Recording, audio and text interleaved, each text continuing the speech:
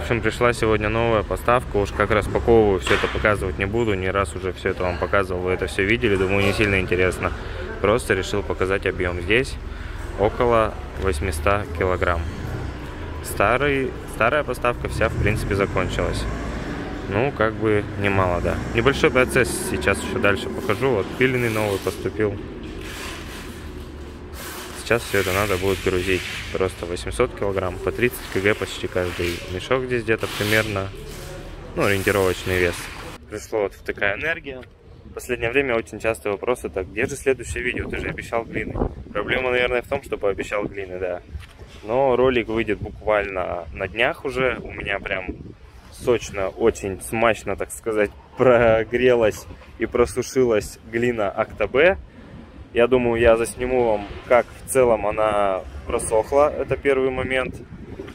Второй нюанс, это мне подсказали еще, ее нужно промочить, и она интересно очень расколется. Это второй момент. Потом я ее попробую поколоть, она очень сложно на самом деле колется. Но дальше похрустеть, рассказать вам свои ощущения. И, соответственно, АСМР ролик, конечно же, это уже просто как всегда. Он наверняка будет, без этого никак. Поэтому какие-то такие вот новости за сегодня. Просто какие масштабы. Это я еще разом тонну не заказывал. То есть у меня было, да, действительно, более тонны я за раз заказал, но это у разных поставщиков. А сейчас я первый раз все-таки у одного поставщика заказал. В итоге мне вот пришло сейчас сколько? Почти 700 килограмм от одного поставщика и около сотни от другого. Общий объем получился 800 килограмм. Именно сейчас забираем. Говоришь, значит, не пойдешь грузчиком работать? Что, ты устал, что ли? Вроде кого, чуть-чуть совсем. Почти как в прошлый раз, просто в два раза больше. Это жесть. Все, тут освободилось место. Тут все пустое стоит.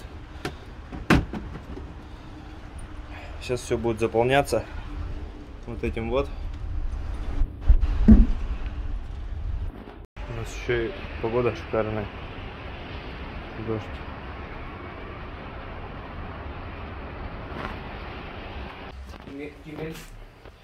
Он, кстати, тоже ест мел, про это я рассказывал.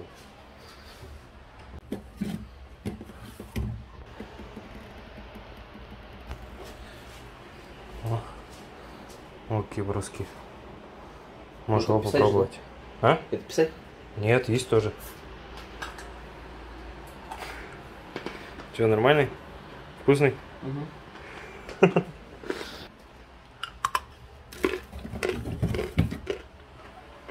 Как его глотать?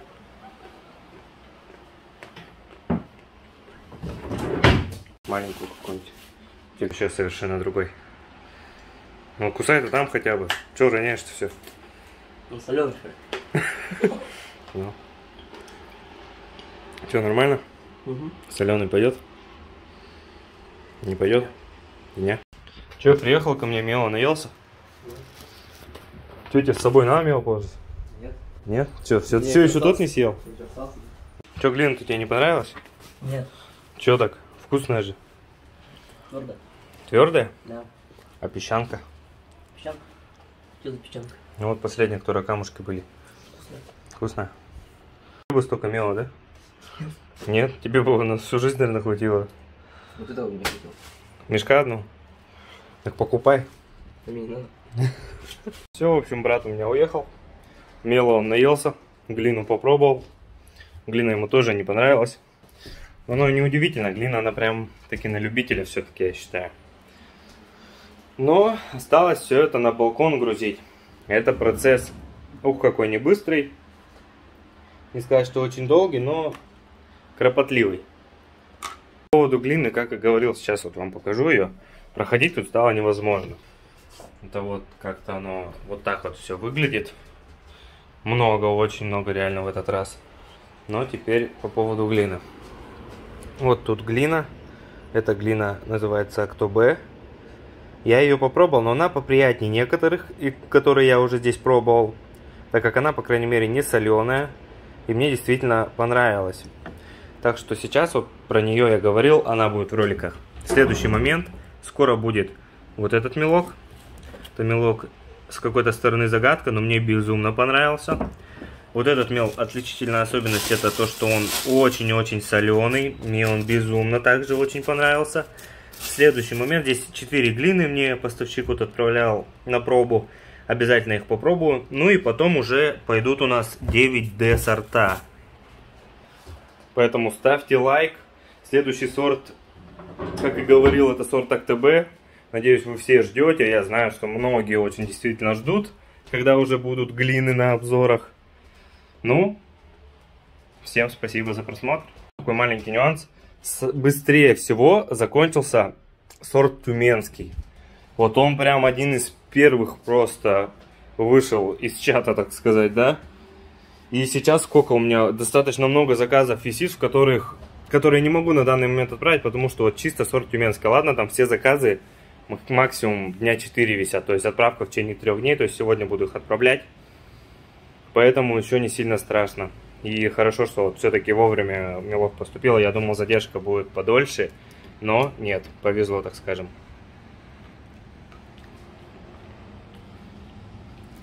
Странная эта глина. Я бы ее назвал что-то типа пудра. Она очень-очень легкая, воздушная. Но более подробно уже в следующем ролике. В последнее время часто э, вот именно со старой поставкой так было.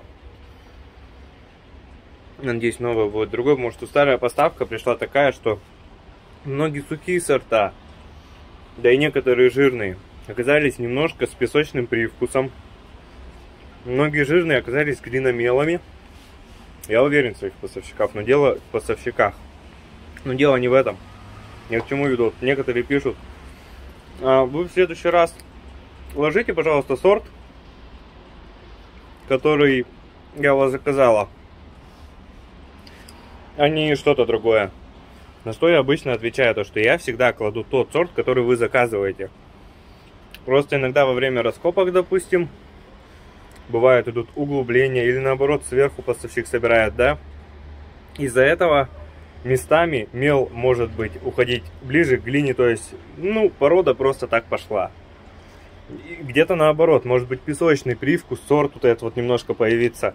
Этот участок породу он пройдет, и дальше будет оригинальный сорт, который он изначально и был. Я вот так объясняю, на что мне отвечают, окей, типа, понятно.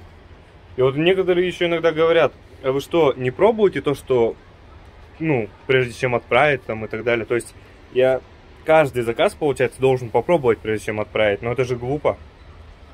То есть поставщики мне присылают сорт, допустим, вот, вельвет, да? Вот он. Так я вам вельвет и отправлю. Типа я отсюда брать не буду, отправлю вам вельвет. Просто раньше я еще так делал. Просто для того, чтобы сделать так, о чем идет речь, нужно полностью просушить сорт, понять, что это действительно то на 100% то. Это очень сложная, кропотливая работа. Если немного заказов, то да, можно такими заморочками заняться, и у тебя действительно будут от тебя уходить те сорта к людям, которые они заказали.